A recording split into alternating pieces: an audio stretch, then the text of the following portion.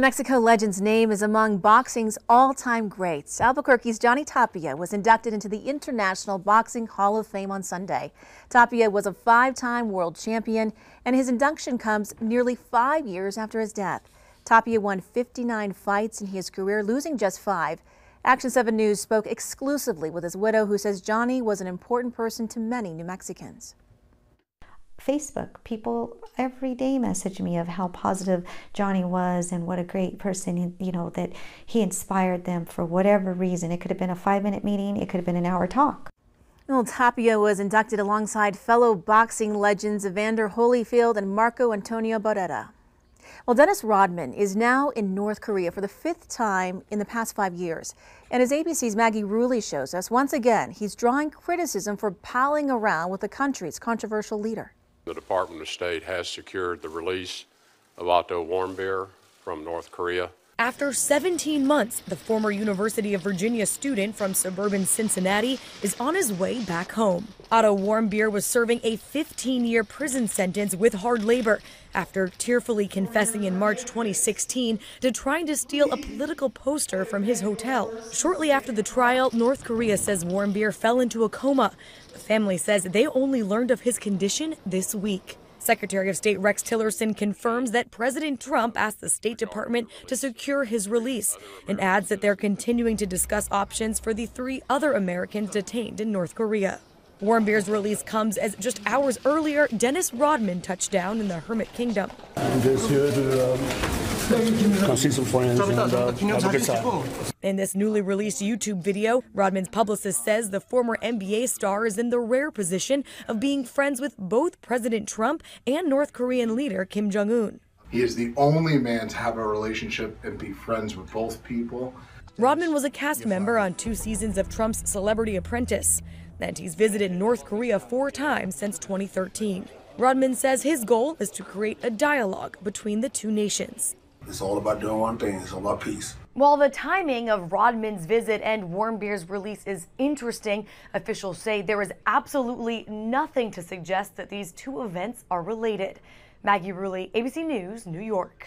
We want to help end the need for rescues like this, where crews actually rappel down into flowing arroyos to pull out those stuck in the rushing water. Today, the U.S. Forest Service showed us what they go through each year to train crews on grabbing drowning victims.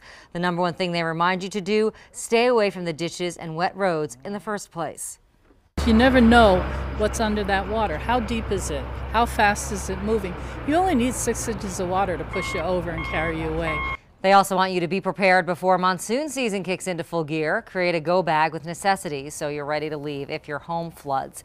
We have breaking news right now. Crews are on the scene of four fires along Interstate 40 just west of Clines Corners. We're told the wind is making it difficult to get it under control right now. One of our viewers shared this photo of the smoke on our U Local page. Witnesses told police someone was playing with fireworks that looked like Roman candles, shooting them out of their car. Well, take a look at this map. The Navajo Nation is really big, covering northeast Arizona and parts of western New Mexico. Now, U.S. senators are working to improve the Amber Alert system in this large area. Now, this comes after the death of 11-year-old Ashlyn Mike in 2016. Police say a man kidnapped and killed her near Shiprock. An Amber Alert did not go out for her disappearance until the next day. A Senate committee just approved a bill to expand the Amber Alert system and give funding to tribes. The bill now moves to the full Senate. Well, the jury in the Bill Cosby sexual assault trial is still talking. ABC's Elizabeth Hur reports on their first full day of deliberations. Jurors back in court for the first full day of deliberations. This after Bill Cosby's defense called just one witness and took just six minutes to make its case on Monday. Cosby did not take the stand. There's no reward in that situation, especially somebody at his age and given the, the amount of time and all of the problems that uh, could be brought up by a cross examination of him. But on the last day of the trial, his wife Camille was in court for the first time, smiling outside but sitting inside, showing no emotion. As the defense argued, while Cosby was a cheater, he was not a criminal, that only angels are in heaven. Mr. Cosby is doing good. His spirits are up. He's confident. Across the room, the woman at the heart of this trial, Andrea Constand, who accused Cosby of drugging and sexually assaulting her in 2004. Then the prosecutor told jurors Cosby's own words incriminate him, referring to a deposition from 2005 where he admitted to obtaining Quaaludes prior to sexual encounters with women, though he does not say in the deposition that he gave women drugs without their knowledge. The DA maintained that any inconsistencies in Constand's statements were because she spent more time trying to forget what happened rather than trying to remember. If convicted, the DA's office says they will ask to have Cosby put in jail immediately and have Cosby register as a sex offender. Elizabeth Hur, ABC News, Norristown, Pennsylvania. Getting up close and personal with cops can be intimidating for some, especially children, and that's why the Bernalillo County Sheriff's Office created Camp Triumph. It's a week where kids get to meet with law enforcement from all over the state to learn exactly what they do. I think sometimes some of the officers and deputies have more fun than the kiddos, but uh, it's great to see the kids have fun, be themselves, and interact with us on a different level.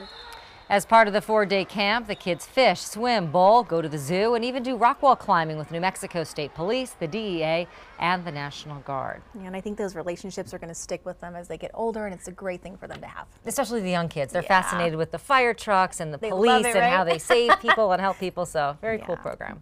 Well, next on 7, Doughboy is a popular character you've seen on commercials, but his creators are upset with a local bakery. Plus, Dr. Barry Ramo says there are some of us who ignore the symptoms for a heart attack, which you should look for in tonight's Health Beat. And coming up all new on Action 7 News Live at 6. The windy season is here, and for some of you, that's, that means home repairs. We'll show you what happened to this umbrella at 6.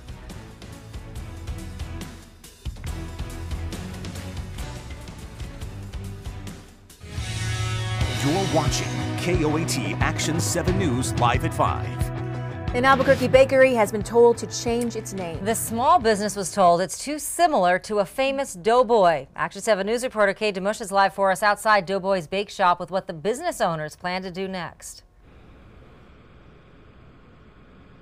Just two weeks after opening, Doughboy's Bake Shop says they got a letter from the owners from the company that owns Pillsbury Dough brand.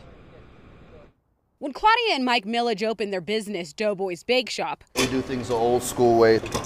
they never thought this Pillsbury Doughboy would come after them. We got a letter from General Mills stating that our name was too close to their trademark Pillsbury Doughboy and said that we would dilute their brand. Is that good? The couple says the name Doughboy has a deeper meaning to them. My father owned a bakery in Socorro about 30, 35 years ago, and they called him the Little Doughboy. The couple says General Mills first sent them a letter in January, just weeks after they opened, asking them to change the name of their store. Since then, they say they received phone calls and other letters from General Mills, including a cease and desist. Picking on the little guy isn't always isn't any good.